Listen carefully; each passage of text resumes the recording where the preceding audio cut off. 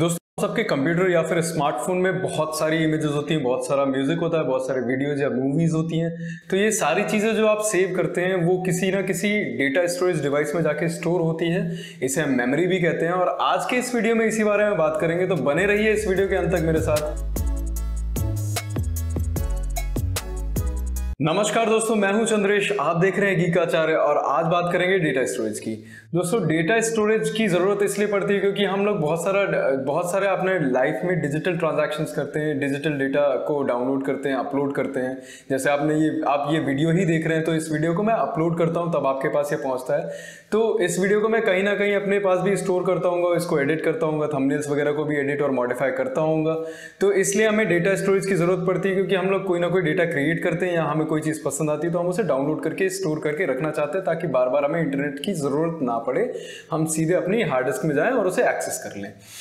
तो ये जो डेटा स्टोरेज मीडिया होते हैं डिजिटल डेटा स्टोरेज मीडिया होते हैं, उन्हें बेसिकली प्राइमरी और सेकेंडरी दो तरीकों में डिवाइड किया जा सकता है। प्राइमरी टाइप के मीडिया स्टोरेज जो भी होता है, वो कैश या रैम होती है। जैसे आप, जो भी आपकी रोज़मर्रा की ज़रूरत की चीज़ होती है, जो आपको बहुत जल्दी, बहुत फ्रीक्वेंटली चाहिए होती हैं तो उनको आप अपने टेबल के ऊपर या कहीं आसपास की जगह पर रखते ताकि आप जल्दी से उन्हें पकड़े, उठाएँ, अपना काम करें और वापस रखते हैं। वैसे ही प्राइमरी स्टोरेज का काम ये होता है कि सीपीयू जब काम कर रहा है और उस वक्त उसे कोई डेटा की ज़रूरत है तो सीपीयू तुरंत सेकेंडरी स्टोरेज या स्लो हार्ड डिस्क पे जाके बात ना करे। सीधे वो प्राइमरी स्टोरेज के पास आए रैम के पास आए या कैश मेमोरी के पास जाए और वहाँ पे जो भी चीज़ उसे चाहिए, वो वहाँ पे स्टोर है और वो सीपीयू को तुरंत मिल जाए। तो प्राइमरी स्टोरेज का काम यही होता है कि सीपीयू को जल्दी जल्दी फ्रिक्वेंटली यूज़ किए जाने वाले डेटा को प्रोवाइड करे। अब लॉन्ग टर्म स्टोरेज अगर आपको चाहिए, जैसे हम एक सीज़न में गद्दे और रजाइयाँ निकालते हैं और फिर उन्हें अगले सीज़न में यूज़ करते हैं। तो इस तरह का स्टोरेज जो होता है, हम, ताकि हमारा स्पेस जो यूजेबल स्पेस है, उसे ऑक्यूपाई ना करे। गद्दे और रजाइयाँ हम उसे बक्से वगैरह में डाल देते हैं या अलमिराज में डाल देते हैं। तो इस तरह का स्टोरेज जब डिजिटल डेटा में हमें डिजिटल लाइफ में हमें चाहिए होता है डिजिटल वर्ल्ड में जब हमें चाहिए होता है तो इस तरह का जो स्टोरेज मीडिया होता है, उसे सेकेंडरी स्टोरेज मीडिया कहते हैं, जहाँ पे आप डेटा को लॉन्ग टर्म के लिए स्टोर कर देते हैं, ताकि उसे बाद में रिट्रीव किया जा सके, बाद में रीड करके यूटिलाइज किया जा सके। तो प्राइमरी मेमोरी जनरली वोलेटाइल होती है दोस्तों। वोलेटाइल का मतलब ये है कि जब तक इनमें पावर सप्लाइड है, तब तक तो डेटा स्टोर रहेगा।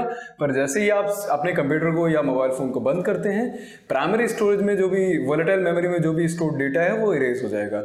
अब रैम और कैश इसी टाइप की हैं वोलेटाइल होती हैं ये। जैसे ही आप पावर ऑफ़ करते हैं रैम में स्टोर जो भी डेटा होता है, वो इरेज हो जाता है। पर सेकेंडरी मेमोरीज जनरली वॉलेटाइल नहीं होती हैं। उनमें वोल्टेज अप्लाई कर, अगर आप हटा लेंगे पावर ऑफ़ भी कर देंगे तो भी डेटा स्टोर रहता है। ऐसा नहीं है कि आप अपनी हार्ड डिस्क में अभी स्टोर करते हैं कोई चीज़ और कंप्यूटर शट डाउन करने के बाद जब दोबारा स्टार्ट करते हैं तो हार्ड डिस्क से सब कुछ इरेज हो गया। ऐसा नहीं होता है। तो ये नॉन वॉलेटाइल मेमोरी है। अब से अब आप जो भी स्टोरेज मीडिया होती है, उस, वो किसी न किसी मटेरियल से बनी होती है। जैसे आपकी सी डी डीवीडीज होती है, वो प्लास्टिक से बनी होती है, फिर एक रिफ्लेक्टिव लेयर ऊपर होती है। तो मटेरियल की किसी न किसी प्रॉपर्टी को मैनिपुलेट करके ऑल्टर करके या चेंज करके डेटा रीड या राइट किया जाता है। और इसके बेसिस पे भी कई सारे टाइप्स में डिवाइड कर सकते हैं आप डिजिटल डेटा स्टोरेज मीडियाज को। प्राइमरी जो तीन चार टाइप्स हैं, वो ये हैं कि आप या तो मैग्नेटिक प्रॉपर्टीज़ को अल्टर कर सकते हैं, जो कि हार्ड डिस्क में करते हैं हार्ड डिस्क में प्लेटर्स होते हैं, जिनकी सर्टेन मैग्नेटिक प्रॉपर्टी होती है। रीड राइट हेड्स होते हैं, और वो मैग्नेटिक प्रॉपर्टीज़ को अल्टर करते हैं, इस तरह से डेटा को रीड या राइट किया जाता है। ऑप्टिकल प्रॉपर्टीज़ को ऑल्टर करके आप सीडी डीवीडी अगर देखेंगे एग्ज़ाम्पल तो ऑप्टिकल प्रॉपर्टीज़ को वहाँ पे ऑल्टर किया जाता है। एक लेज़र बीम के ज़रिए रीड या राइट को किया जाता है। सीडी डीवीडी ब्लूरे इसमें ऑप्टिकल प्रॉपर्टी मटेरियल की ऑल्टर की जाती है। अगर मटेरियल की, अगर मटेरियल सॉलिड स्टेट है तो उसमें उसके इलेक्ट्रॉनिक स्टेट को चेंज किया जाता है, उसके इलेक्ट्रिकल प्रॉपर्टीज़ से ऑल्टरेशन किया जाता है, जिससे रीडिया राइट अचीव किया जा सकता है। इसका प्राइम एग्जांपल है आपकी read random access memory read only memory RAM या रोम या सॉलिड स्टेट ड्राइव मतलब एसएसडी और एक और दोस्तों बहुत ही प्रिमेटिव टाइप का, बहुत ही पुराने ज़माने में जो यूज़ किया जाता था, वो फ़िज़िकल स्टेट को मटेरियल की ऑल्टर कर दिया जाता था। वो जैसा कि पंच कार्ड होते थे, उसमें किसी पर्टिकुलर पैटर्न को पंच कर दिया जाता था पंच होल्स बना दिए जाते थे और फिर उस तरह से डेटा को रीड या राइट किया जाता था। वेनाल रिकॉर्ड्स भी इसका बहुत अच्छा एग्ज़ाम्पल है। वेनाल रिकॉर्ड्स वेनाल की शीट होती है पतली सी, उसके ऊपर ग्रूव्स बने होते हैं, उसके ऊपर गहराई में लाइंस बनी होती हैं, उथली या गहरी लाइंस बनी होती हैं और उसके ऊपर जो रीड राइट है रेड रीड राइट हेड होता है नीडल होती है, वो मूव करती है कॉन्टैक्ट करते हुए और उसके अकॉर्डिंग डेटा रीड या राइट होता है विनाइल रिकॉर्ड्स में। तो इस तरह से आप चार टाइप होते हैं, जिन पे बांटा जा सकता है फ़िज़िकल प्रॉपर्टीज़ को ऑल्टर करके मैग्नेटिक प्रॉपर्टीज़ को ऑल्टर करके इलेक्ट्रिकल प्रॉपर्टीज़ को ऑल्टर करके, या फिर ऑप्टिकल प्रॉपर्टीज़ को मटेरियल की ऑल्टर करके रीड या राइट किया जा सकता है डेटा को। अब इसके बाद एक और टाइप से डिवीज़न किया जा सकता है इनका। वॉलेटाइल नॉन वॉलेटाइल मैंने आपको बता ही दिया है।